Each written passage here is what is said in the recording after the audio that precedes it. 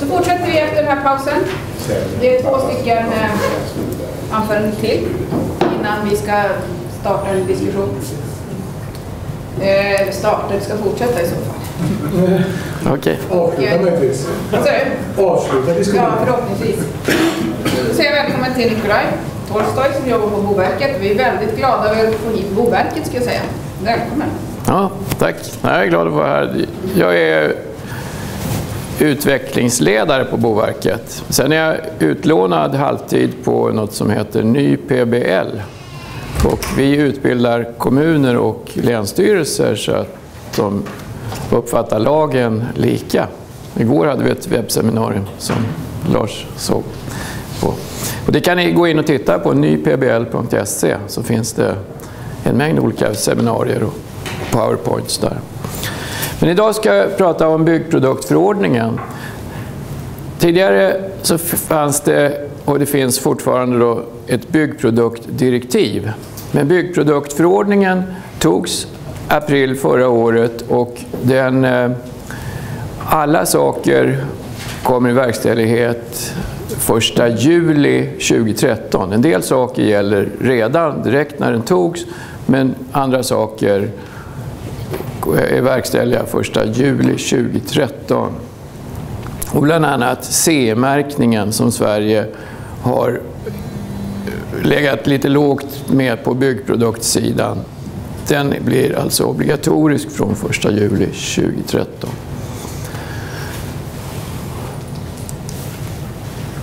Byggproduktförordningen den är som alla förordningar som kommer från Europa högre upp än svensk lag och svensk förordning och svenska föreskrifter.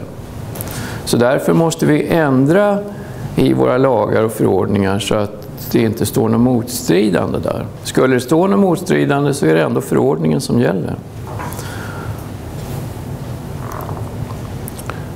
Och sen kommer jag då gå igenom här lite vilka byggprodukter som omfattas och vad en prestandadeklaration är och vad den ska innehålla och vad CE-märkningen innebär. CE-märkning för byggprodukter är helt annorlunda än CE-märkning i övrigt.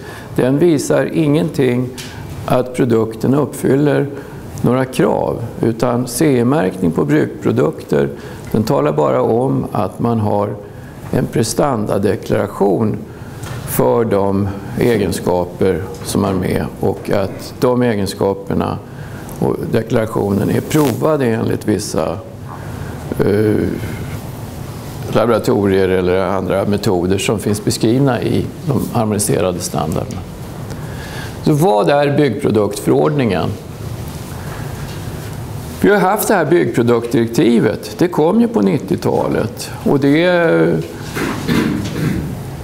det har fungerat men inte så bra som man hade hoppats. Det var otydligt om de här harmoniserade standarderna. Flera av länderna ville inte acceptera CE-märkning, bland annat Sverige och Finland. Och vi har, eh, det har varit olika tolkningar mellan medlemsländerna. Och eh, man har inte fått fart på det här med byggprodukter, handeln över gränserna i Europa. Man vill ha en bättre fri inre marknad. Så att man försöker upprätta det syftet som det här är. Och förordningen gäller direkt i alla EU-länder.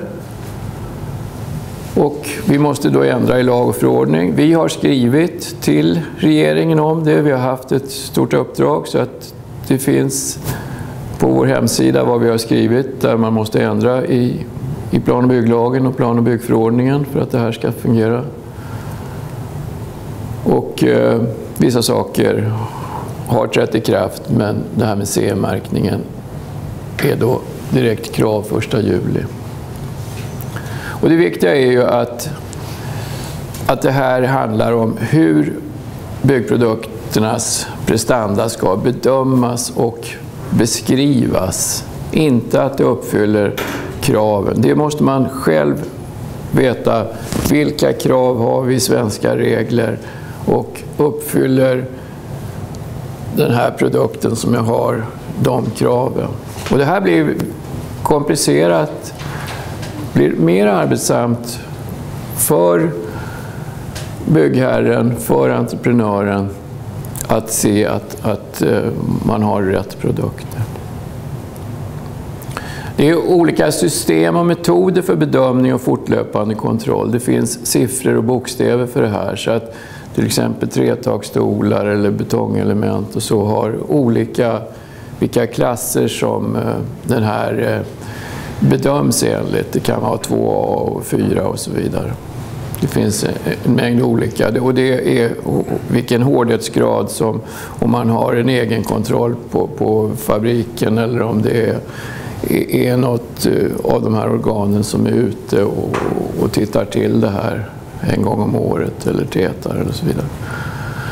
Och, och CE-märkning det är mot harmoniserade tekniska specifikationer och inte mot förordningen utan det finns idag drygt 400 harmoniserade standarder och det blir troligen upp till 600 inom några år. Men innebär det att man CE-märker egentligen för ett specifikt land? Eller? Nej, CE-märkningen är ju eh, för hela Europa. Men eh, men ska du bara sälja på ett land, då behöver du bara ha de egenskaperna som det landet eh, kräver i sin lagstiftning. Och det här finns i en CETA-A-bilaga i den harmoniserade standarden vilka egenskaper som du ska märka. Så, och har du då ett land som inte har några krav, då kan du sätta NPD, No Performance Determinant, så, så få den egenskapen som det landet inte frågar efter. Men om man har CE-märkt armering till exempel så, mm. så har vi specifika krav på i alla fall vissa typer av den än vad andra länder Ja, ja. Men det, det, man får gå tillbaka till standard, man får gå tillbaka till ZA-bilagan och så får man titta där på de egenskaperna. Så prestandauppgifter ska deklareras. Det är vissa förenklingar och lättnader, men eh, man har ändrat lite begrepp. När Lars visade de här som vi har kallat väsentliga egenskaperna som bärförmåga, stadga och beständighet är ju en, brandskydd är ju en, en annan och energihushållning och värmeisolering är en tredje och så vidare. Så de heter nu grundläggande krav istället för väsentliga krav. Så det, det, man har förändrat en del ord. Så. Sen ska man var, i varje land, om ni tillverkar någon produkt och vill sälja den i Norge, eller Finland eller Österrike, eller något, då ska ni kunna kontakta en kontaktpunkt och inom 14 dagar få ett besked vilka krav som gäller i det landet för den produkten. Och samma krav har vi i Sverige då när det kommer frågor utifrån. Så därför är det väldigt viktigt för oss på Boverket att vi har alla våra regler på engelska så att vi snabbt kan svara det här. Och nu är inte kontaktpunkt utsedd utan det är Kommerskollegium men det är mycket troligt att de pekar på oss på Boverket och säger att det, det, är vi. Men idag så går det först till Kommerskollegiet och så går det några dagar och sen får vi frågan och sen svarar vi till Kommerskollegiet och så svarar de. Så att det, det, de där 14 dagarna blir lätt 10 dagar. Så. så det är lite besvärligt. Och sen eh, fler och tydligare krav på ekonomiska aktörer vid tillhandahållande av produkter. Eh, Ja, det är vem kan märka och så vidare och vad får eh, den som säljer, vilka ansvar och så har den. Det, det är bara den som tillverkar som får CE-märka. Men, den som säljer måste ha den här prestandadeklarationen. Om inte det finns på produkten så är det ju ett papper eller att det är digitalt eller något och då måste den som säljer tillhandahålla. Så det finns en mängd sådana här föreskrifter i, i förordningen. Och här är de här grundläggande krav. Då har man infört ett nytt, det här sjunde, hållbar användning av naturresurser. Vi i Sverige vill ha till tre till de här sex som fanns ursprungligen. Och ett heter att man ska eh, hushålla med vatten och, hur man, eh, och avfall. Så, så, att den är lite, vi var inne på det tidigare och tillgänglighet har vi haft som en egen. Nu har den buntats ihop med säkerhet vid användning, hette det förut. Nu står det tillgänglighet där också. Sen har vi det här med lämplighet. Vi har ju, för bostäder var det ju en god bostad fanns från början och nu är det en standard, hur mycket ytor man ska ha och sådär. Så att, tidigare så var ju det med lån och så, så att det här uppfylldes. Men nu är det infört så att Lars och andra ska granska det så att vi slipper hoppa in från gaven i, i, i sängen utan kan komma längs med. Ja, och så, och så, sådana exempel. Hygien, hälsa och miljö har man skrivit om lite. Det är en mängd texter under de här. Men, men hälsa, hygien och miljö har funnits tidigare men man har skriver mer om miljö i, i, i själva det grundläggande kravet. Vi har ju svensk lagstiftning använt de här begreppen, som det här är ju egentligen för produkter, men vi har ju tagit in det i svensk lagstiftning när det gäller själva byggnaden byggnadsverket, om det är bron också. Så att byggproduktdirektivet det handlar ju om produkter, men det handlar inte om krav på produkter, utan det handlar om hur man ska testa dem och hur man ska beskriva prestanda. Men sen är det till varje land att beskriva vilka krav har vi på byggnadsverket. Och det ger ju i sin tur krav på de byggprodukter som vi tar in när vi bygger det byggnadsverket. Jag frågar den här mm. sjuan där. Eh, betyder det att produkter ska LCA-deklareras på något sätt? Alltså koldioxidutsläpp och sådana prylar i produkten? Eller? Det, det här är ju då upp till varje land och vissa länder i Europa de skriver så att det ska LCA eller LCC eller någonting. Men vi i Sverige, i Norden kan jag säga, har valt att ännu inte göra några regler på detta. Så att vi, vi arbetade nordiskt förut med att innan vi gick in i EU att, att det fanns eh, B, vad heter det? Ja, spelar ingen roll vad det hette, men vi, vi samlades och, och skrev ihop så att reglerna var väldigt likartade i Norden. Men det har, har gått åt, åt olika håll. Men nu försöker vi samarbeta. Så när det här kom, ska vi ha regler? Och då sa de andra nordiska länderna, vi kommer inte att göra Och då valde vi att inte göra det heller, för att, så att vi har likartat. Och sen så följer vi det här och om några år så kanske vi kommer med regler på, på detta, men inte idag. Vi har haft det här med vatten och avfall och vi har ju en mängd i miljöbalken och de reglerna finns ju kvar. Så att, hmm. Just det där är, det kan vara kontra, så, helt, verka åt olika håll, va? många av de här reglerna. Så. Jo, jo, visst. Nej, det är väldigt viktigt. Vi såg när, när eh, vi bytte PCB-fogar till andra fogar och folk ville ha miljövänligt så kanske fogen höll ett år för att den drogs isär. Så det är viktigt att de tekniska egenskaperna... Det, det kan ju vara ja krav för värförmåga stadgabeställningen som kräver väldigt mycket konstruktion som drar jättemycket naturresurser att bygga. Va? Ja, precis. Det är jättemycket koldioxid. Ja. koldioxidutsläpp. Ja. ja. Så ingen av de här i, i svensk lagstiftning är ju energin inte bättre än tillgänglighet eller så. Bärförmåga, brandskydd och säkerhet vid användning och så ska man inte kunna tulla på. Du ska inte bygga sämre för att uppfylla några energi eller miljökrav. Så. Vilka byggprodukter omfattas?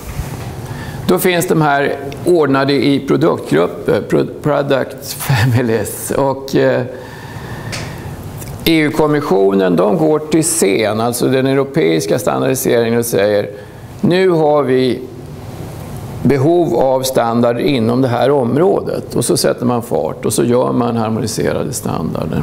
Och då är från svensk sida är SIS med och så skickar vi svenska representanter dit. Men det vet ni, det får ni ju betala för att vara med där. och Så, så det blir ju inte alltid... Andra länder gör lite annorlunda ibland. Så att det sitter mera tyska professorer än svenska professorer tyvärr i, i de här arbetena.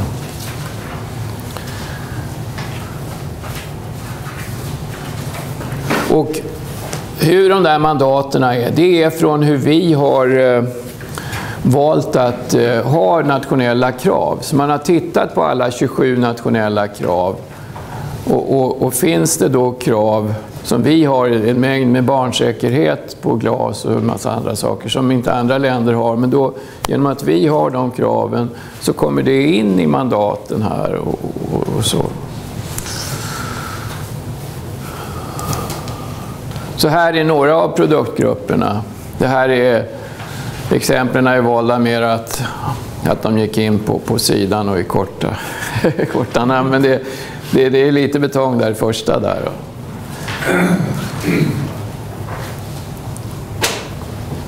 Så det finns sådana produktgrupper och jag kommer till lite senare hur ni hittar de här.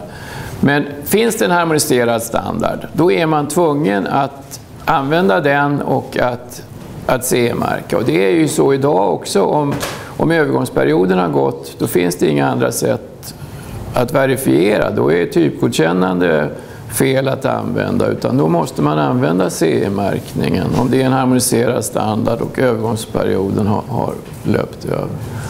Ja. Hur stor är de svenska kraven i förhållande till resten av Europa? Är det tuffare här eller ligger vi någonstans mittemellan? Eller? I Norden var vi duktiga tidigare att ställa funktionskrav genom att vi arbetade ihop eh, i de här länderna. Och, och, och, och, därför så finns det inte så mycket detaljkrav. Och därför har vi inte krav på alla detaljer när man gör harmoniserade standard. Och det kan upplevas lite som nackdelar. Vi, vi har, hade ju typgodkännande till exempel en sån sak som brandspjäll, hur, hur ofta den ska motioneras, alltså se hur, att den fungerar. Och, och då var det, jag tror, eh, någon viss tid, jag minns inte hur det var, men ganska ofta. Medan andra länder kanske hade en gång i halvåret och då, då när det inte finns något krav så blir det ju det här med tyngdpunkten det, det sämsta kravet som tillverkarna använder tyvärr. Och, det, och så lite så är det, att man, det är svårt att översätta funktionskravet till det här prestandakravet i den harmoniserade standarden. Lite luddigt svar på din fråga, men... Men när det är exempelvis mm. frostprovning av betong så är Norden långt framme kan man säga, så att det finns för vissa områden. Så. Jo, men det är hur vi har ställt om hur, hur vi har fått in det i lag, i föreskrifter och råd. Va? Om, om vi skriver att eh, men jag, jag är lite osäker hur, hur det där är tillvarasätt just på det. Men det, det, är nog viktigt att, att ni följer upp det och tittar på det och, och, och, och stöter på oss. För att vi har ju folk i Bryssel hela tiden. Och, så att ni ska använda oss om ni får problem, säga till. Men sen om det inte finns harmoniserad standard, då, då går man till något... Nu vill jag CE-märka det här, men det finns ingen harmoniserad standard. Då gör man ett eget European Assessment Document, eller en ETA. Man eh, gör ett bedömningsdokument och så får man en europeisk teknisk bedömning och då kan man CE-märka. Det här tar några år, men, men det är ett sätt att få produkten CE-märkt och att man då kan sälja den i övriga Europa på ett lättare sätt.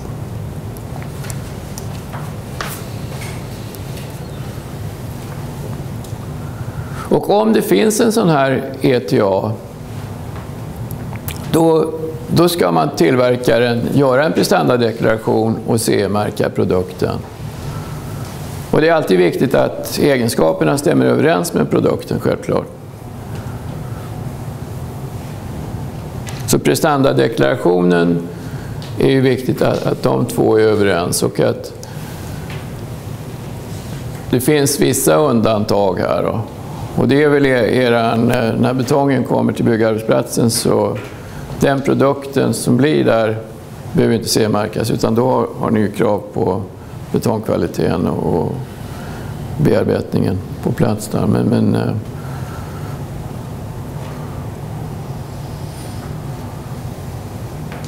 så att det finns en del undantag.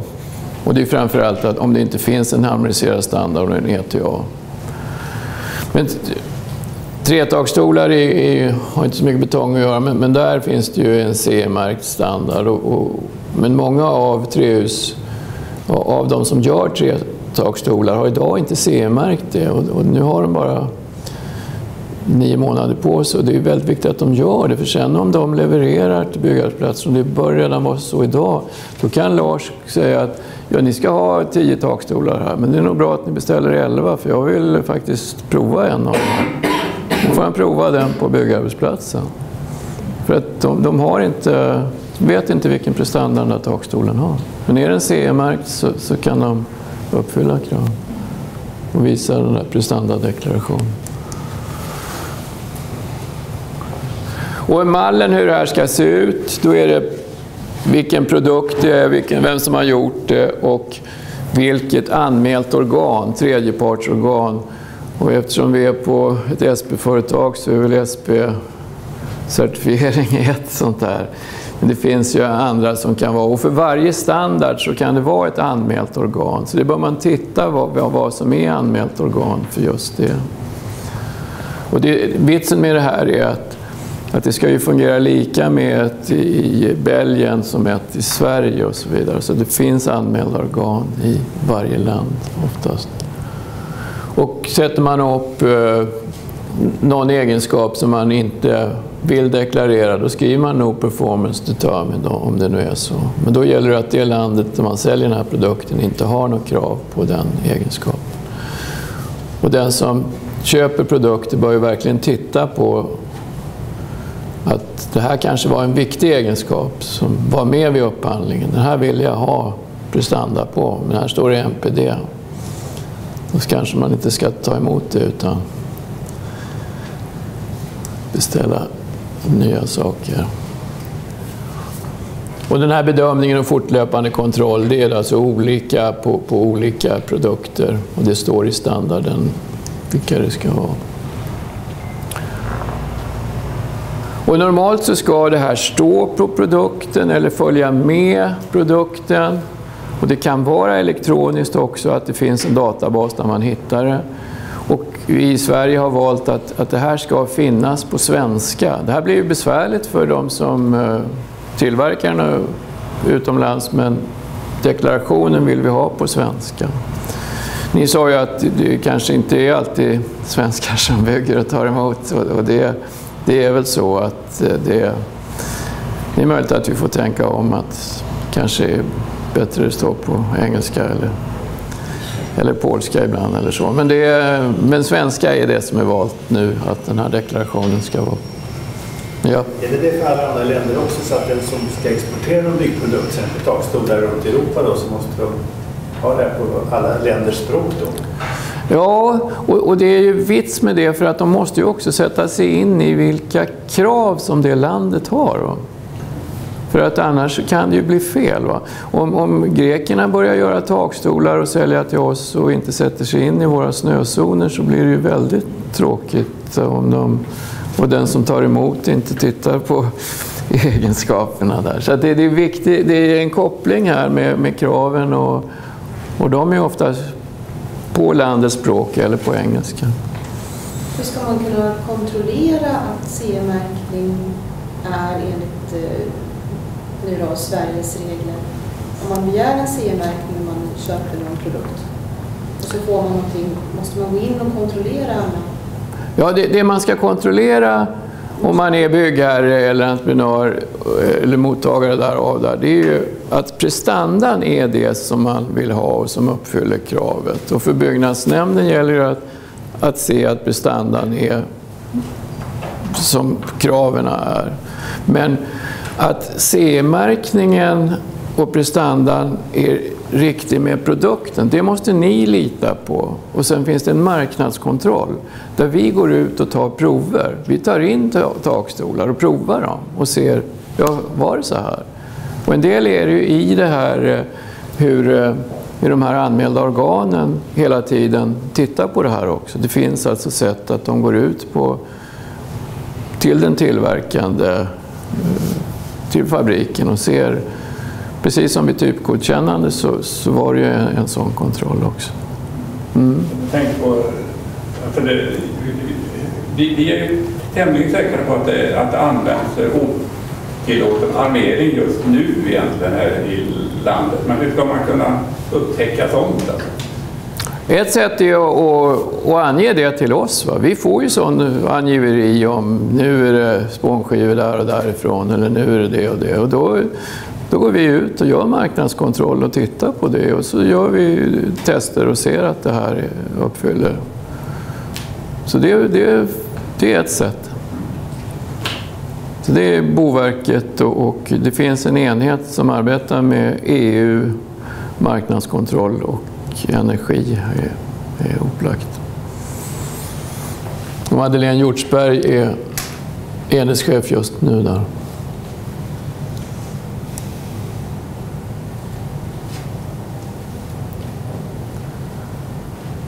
Och sen eh, kommissionen har eh, villkorat här, som de inte har kommit igen med, hur det här webbaserade prestandadeklarationer ska se ut. Så det väntar vi ivrigt på. Det, det vore ju väldigt bra om det fanns, att man alltid kunde hitta med, med det här numret. Så, för det skulle ju underlätta. Vi har ju idag till exempel Kemikalieinspektionen har regler om hur, när man säljer impregnerat virke, att det alltid ska vara med lappar. Och det, ni som har varit i brädgårdar ser att så fungerar det ju inte. Det finns sällan. Och det är liknande här kanske med tiden. När vi är inne på kemikalier så är, finns det något som heter REACH. Det är EUs kemikalieförordning. Och där finns det den att man ska tala om vilka farliga ämnen om folk frågar efter det. Men byggproduktförordningen är tuffare. Man ska i CE-märkningen ha med de här farliga ämnena enligt kandidatförteckningen. Och det här gäller ju mycket betongprodukter och vi tillsätter ju en del för att få fart på olika saker. Jag vet inte, man får ju titta på det här REACH. Det är ju olika nivåer och, och, och vilka ämnen och hur, hur de, om de ska vara med och så vidare. Och säkerhetsdatablad och så.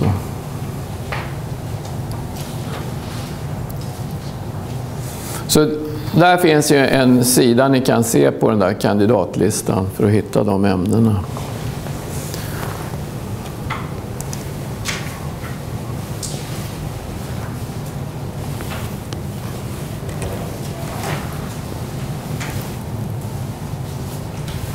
Går jag åt fel håll nu?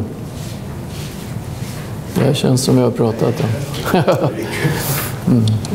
Du haft bilden nu, har du pratat om Ja, jag har pratat om. Ja.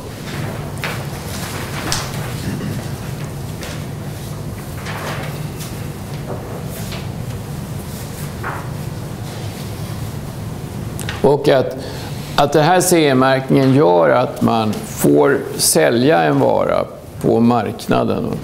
Att man får sätta den på, på marknaden. Och man har CE-märkning, man har prestandadeklaration. Och det, det, här får man ju se upp att i Sverige till exempel på fönster har vi ju ganska hårda krav för att uppfylla våra energikrav. Men det kan ju komma produkter som är CE-märkta, men de har inte alls de U-värden som vi kräver här. Men då står ju det på prestandadeklarationen. Så det, det är hela tiden arbete för de som beställer produkt, byggprodukter att se att det är rätt saker de får. Men om jag inte deklarerar och märker, vad händer då? Jo, då får man ett försäljningsförbud. Du får inte ta in den här produkten eller sälja den här produkten på marknaden. Och om det, produkten inte stämmer med deklarationen, då är det marknadskontrollen då hos Boverket som påpekar det här. Vi har upptäckt detta. Hur förklarar ni detta? Hur gör ni för att rätta till det här?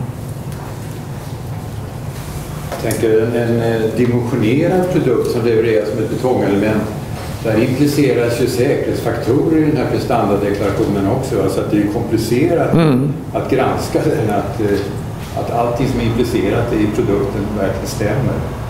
Eh, när man får produkten och ser att den är rätt, eh, om det låg fel armering eller fel dimensionering, det är jättesvårt i sent skede. Ja, visst är det så. Och, och det som Håkan pratade här om de här raserna i samband med snölast så var det många tretaksstolarna höll ju bra. Men, men den detaljen att man skulle stabilisera dem med varandra, det var inte med. Så att, och, och, och det är ju varje produkt för sig, man, men man måste se till helheten och det är lite det du är inne på, eller nej?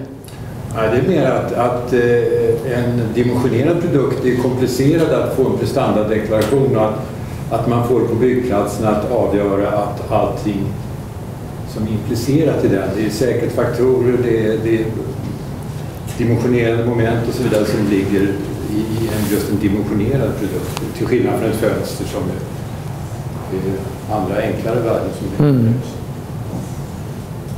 Men samverkan, det är byggnadsinspektörens uppgift och det är samrådet att kolla att samverkan mellan olika C-märkta produkter fungerar. Det Och så- här med att inte deklarera och det leder till en försäljningsförbud. Eh, Jag har sett något dokument, det här kommer att påverka lagen om offentlig upphandling. Om, om det här stämmer så betyder det att det är en nytt när det gäller vet, I lagen om offentlig upphandling Mm. så står det när det gäller produktstandarder så ska man alltid ange att man ska uppfylla en viss standard eller likvärdigt, det vill säga man har rätt att om man inte uppfyller en standard be- bevisa eller påvisa att man har gjort ungefär som standarden fast, fast på annat sätt så att säga. Men och för att komma till uppfylla egenskaper eller uppfylla krav. Mm. Och då får man göra det som ja, enligt lagen om offentlig upphandling. Men i och med det här så kanske det betyder att den möjligheten inte finns kvar. Eller, Den finns inte kvar när det finns harmoniserade standarder. Då måste det vara CE-märkt och, och prestandadeklaration. så det här kommer att påverka skrivningen i lagen om offentlig upphandling då, i så fall. Och där står det tydligt att man ska alltid säga Ja, det, det har du ju rätt i. Ja, eller likvärdigt. ja, Det är vi ja. Ja, det borde vi kanske ha påpekat också. Vi har ju påpekat i plan och bygglagen men inte till den lagen. Nej. Nej, nej, jag har sett ett dokument där Boverket tagit fram när det gäller lagen om offentlig upphandling också. Ja, ja, vi kanske gjorde det. Okej. Ja, vad bra. Men den finns inte med. Det, det står fortfarande att... att Ja, det Nej. Du får gärna titta på... Ja, nej men tack. Och hur blir det här i praktiken då? Det är, vi har eh, folk i EU-kommissionens ständiga byggkommitté. Det är Annika Wessel och Hans-Olof Karlsson gjort. Och de, eh, de är glada att, eh, att få synpunkter från er. Vi har en grupp, jag vet inte om någon av er är med där, men som träffas inför de här mötena där nere. Och vi talar om vad- som kommer upp. Så. Ja, visst. Då får ni titta lite vidare själva här om produkten omfattas och hur ni hittar innan. Då. Det där är väldigt bra att, att kunna hitta det där. Jag vet inte, ni, ni, kan, ni lägger ut dem elektroniskt så kan man klicka på det där kanske sen. Och likadant så står det där hur man går vidare och, och hittar alla de där 400 harmoniserade standarderna. Sen är danskarna duktigare än oss när det gäller eh, att eh, tala om vilka harmoniserade standarder som finns också. De har delat in det i produktområden. Där hittar ni hemsidan och så trycker ni standarder och så vidare. Och, och sen får ni gå vidare till svensk standard och, och titta på de här numren och se om just de här produkterna som ni, ni tänker på, om de finns med i den standarden. Sen hur man CE-märker har vi pratat om, CTA-bilagan och så vidare. Och, eh, att man tittar på den. CTA-bilagan ligger alltså i harmoniserade standarder, finns alltid. Ja. Och om man är materialleverantör, här, måste jag prova allt och vem ska göra det? Och den som gör det, det är sånt här anmält organ och det hittar man lister på detta.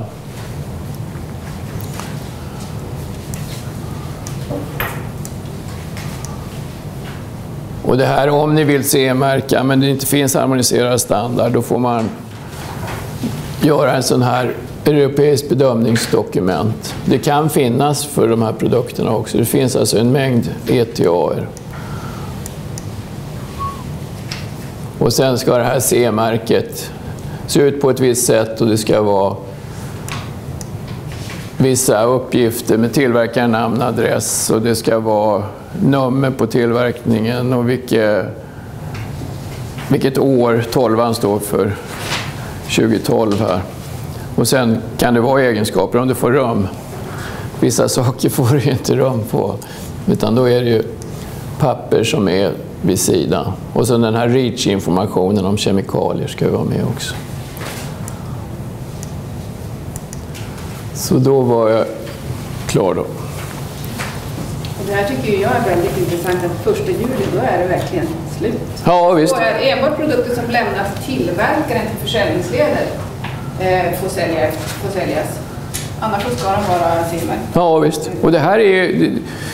Att få den här CE-märkningen, det tar ju tid genom att, att de här använda organen måste vara inne och man måste göra provningar och så. Om man inte har kommit till skott med det nu så är det verkligen hög tid, hög tid att sätta fart med det. Så, så, även om ni inte själva tillverkar så många här, men säg åt dem som är det så att ni kan köpa rätta sakerna. Men om man har köpt någonting idag som ska levereras efter den 1 juli 2013 och tillverkas efter det datumet. Det är ju nya reglerna ändå för dem. Ja, Oavsett ja, ja, ja visst. Förordningen kom ju i april och den gällde då och den talar om det här datumet ska de, de saker som levereras vara CE-märkta. Och om den inte är det? Ja, ni, ni får ju väldiga problem. Det, det, den kan, eh, kan bli eh, försäljningsförbud. Byggnadsnämnden har svårt att kontrollera det. det, det ja, ja, visst. Det blir jobbigt.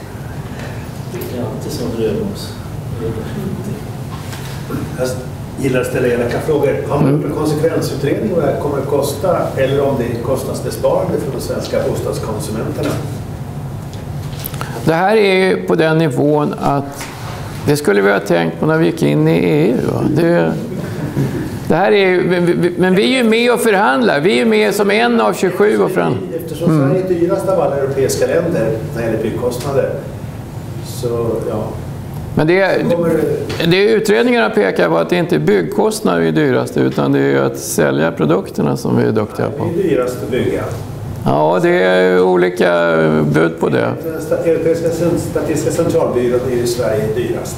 Ja, men det är mycket mer försäljningskostnader än, äh, än byggproduktionskostnader. Sånt här, är ju försäljningskostnader också. Jo, jo. Det kostar också pengar. Men det är att vi, också så kan vi importera mycket mer varor så att det är mycket billigare. Jo, då.